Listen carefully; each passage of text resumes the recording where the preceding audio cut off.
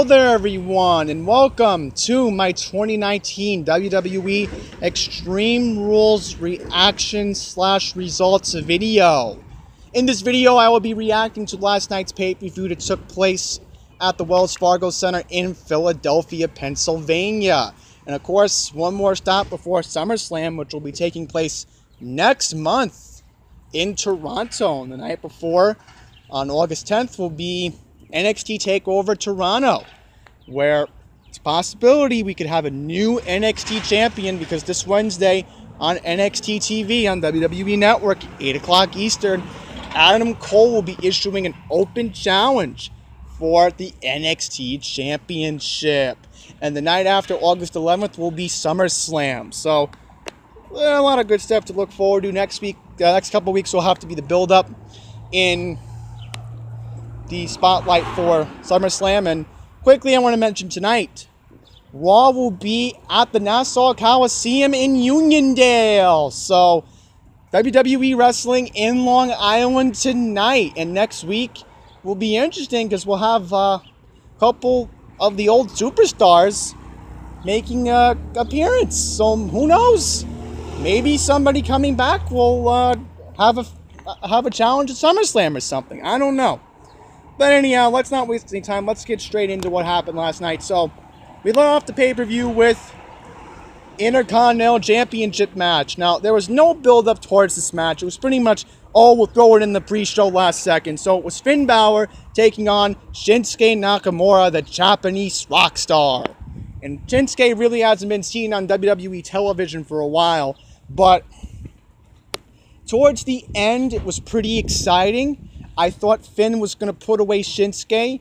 Finn was very close to hitting the coup de grace, but Shinsuke countered, hit the Kinshasa, and of course, your new Intercontinental Champion is Shinsuke Nakamura. So now, second time he's been champion WWE.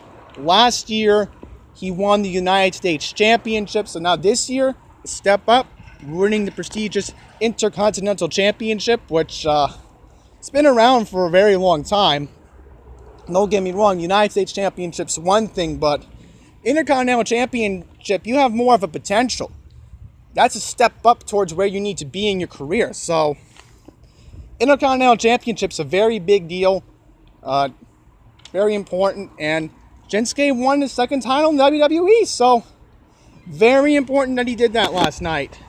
So congrats to him, and we'll see how it ends up on SmackDown. Maybe he'll uh, make an appearance this week. I don't know, but we'll see. Because I want to see the title defended at SummerSlam. It has to be at least defended at SummerSlam. So, moving on, we had Cruiserweight Championship. Who cares?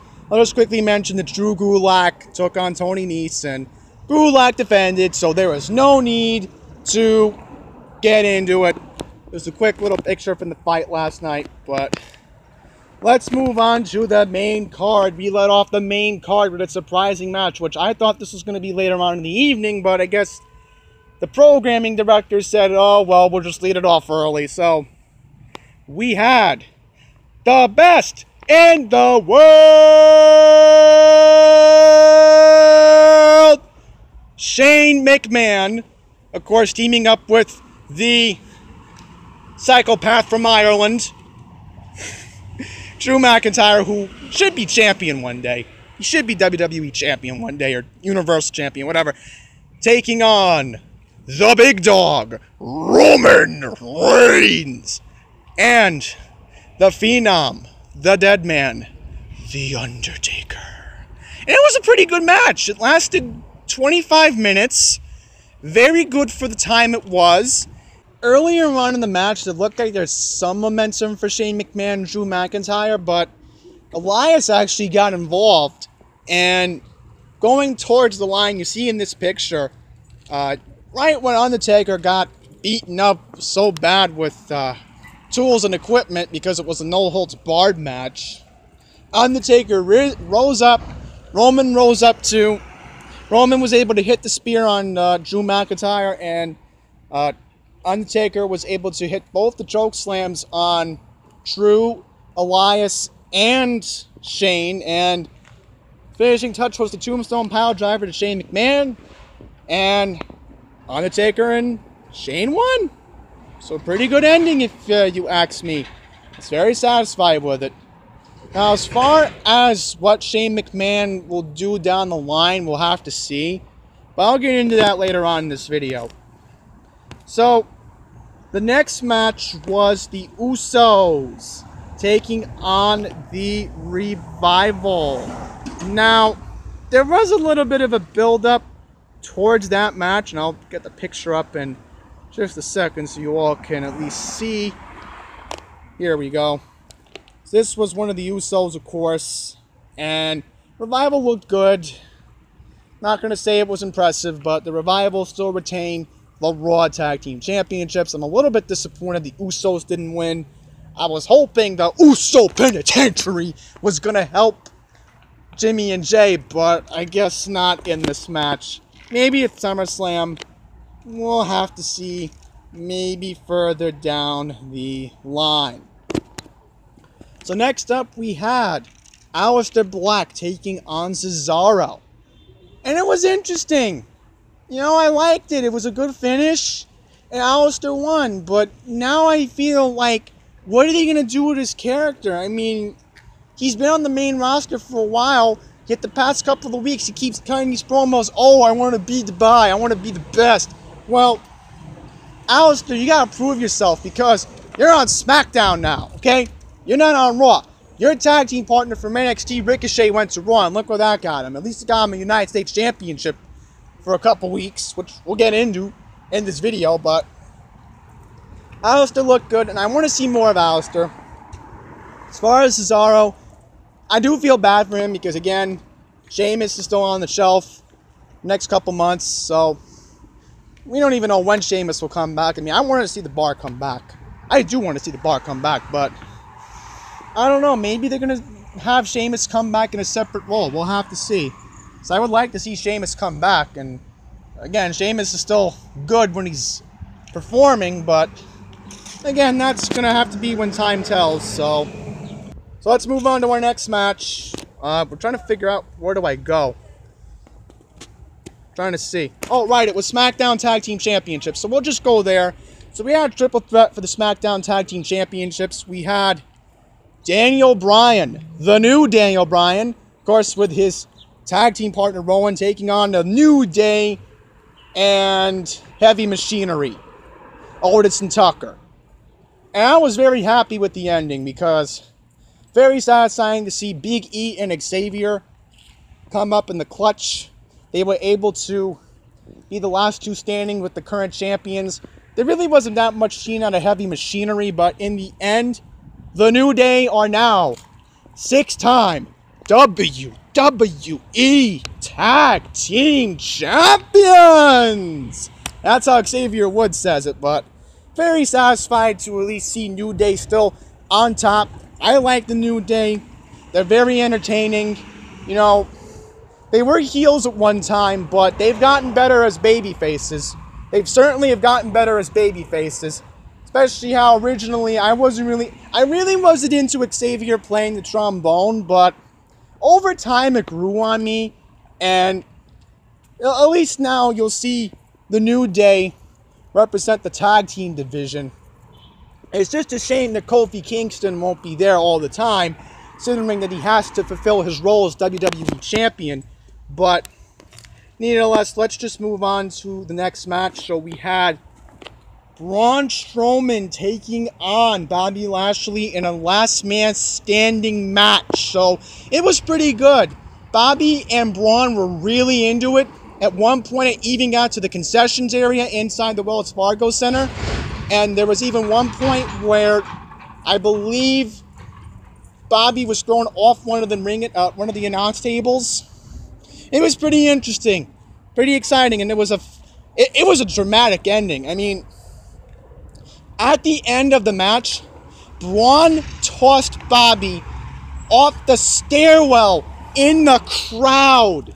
And at the end, when the uh, referee was making the count for the last man count, at number eight, Braun just busted through concrete. Braun busted through it. And it was an exciting ending, and I got a very exciting conclusion. We all did, and it was fun to see it. And Braun moves on, and we don't know what's going to happen to Braun, honestly, but we'll see how that ends up. I will give the women their spotlight towards the end.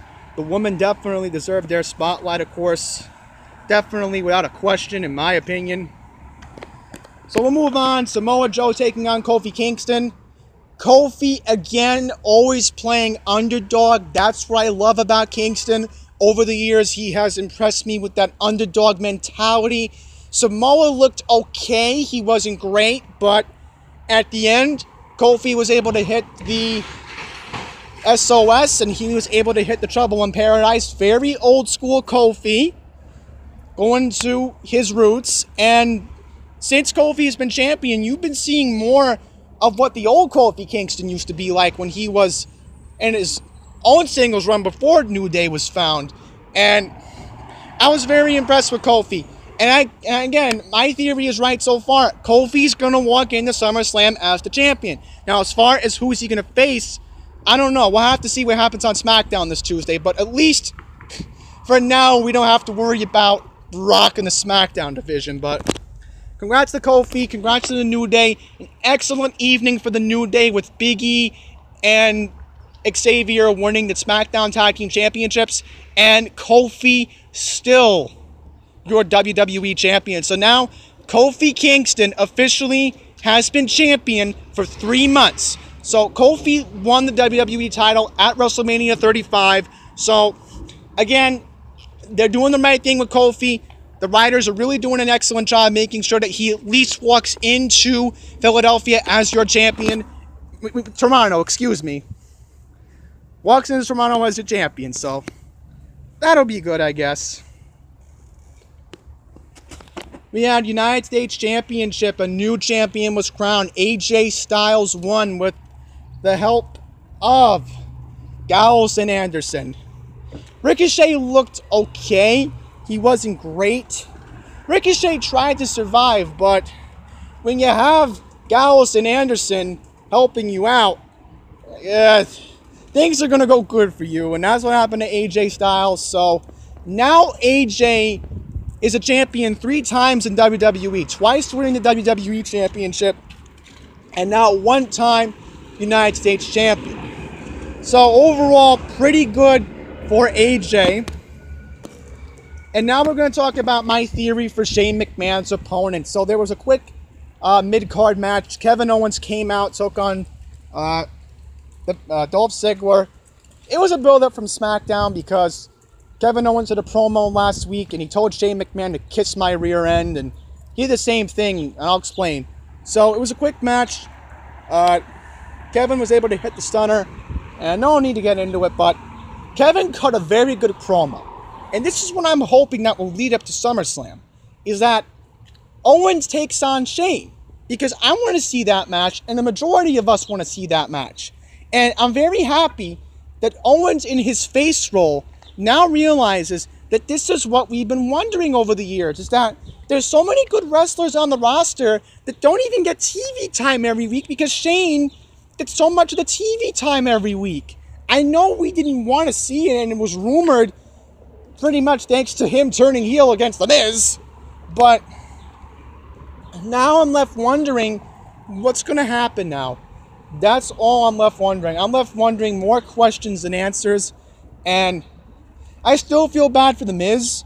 I mean, I want to see The Miz fight in every pay per view, just because, again, I like The Miz in his new role. But I don't know. Maybe there'll be like another tag team match or something. But I don't know. We'll see what happens down the line. But Owens impresses me, impresses everybody.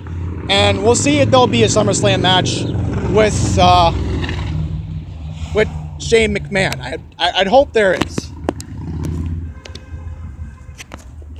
So we'll go to the women's division. Bayley taking on Alexa Bliss and Nikki Cross. Two on one handicap match.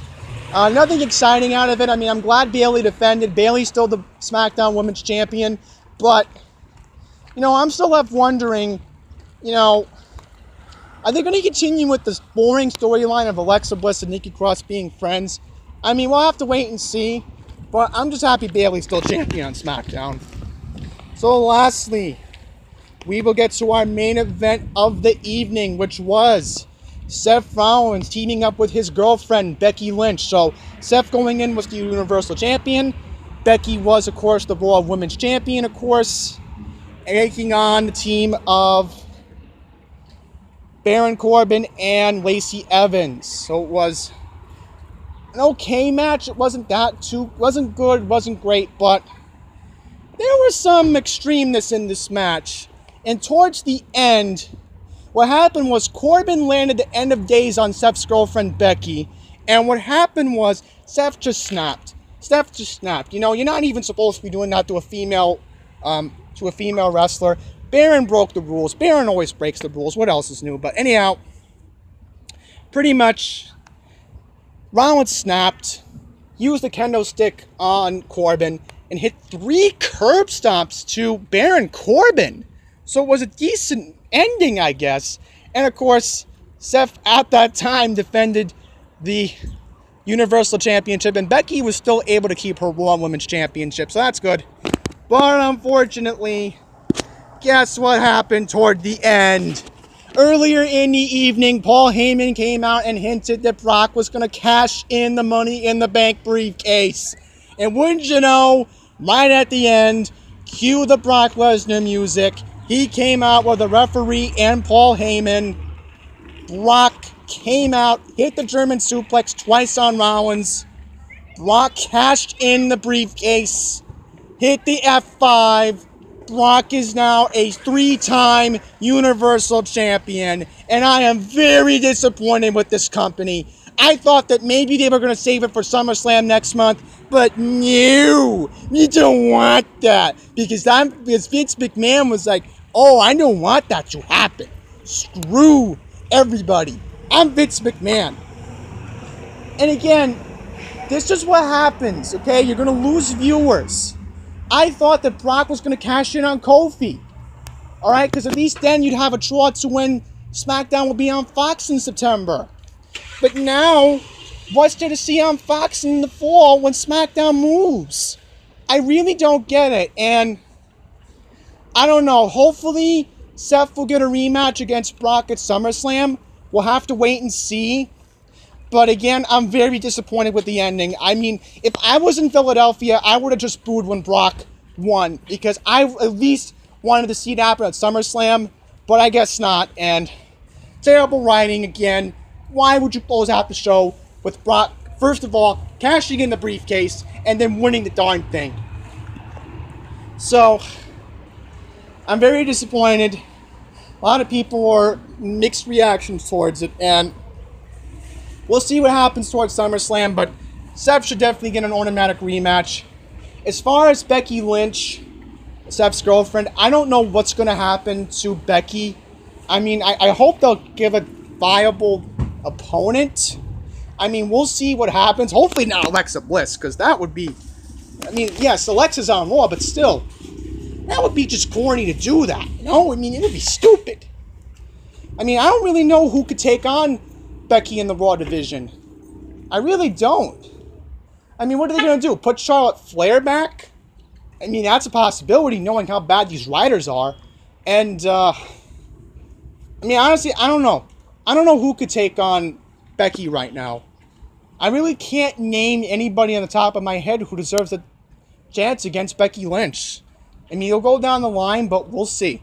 So, with that, I'm going to wrap up my Extreme Rules results and reaction video. I hope you all enjoyed. And until the next one, please take care.